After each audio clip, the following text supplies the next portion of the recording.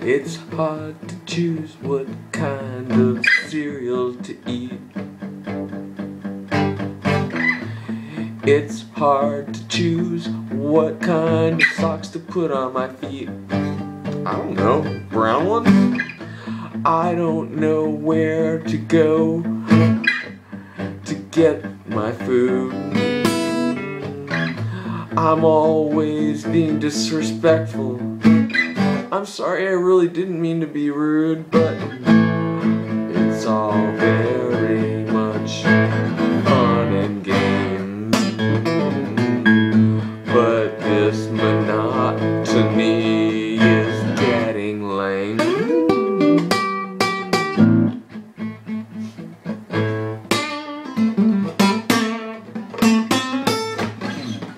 Alright, uh, I'm gonna work on this one.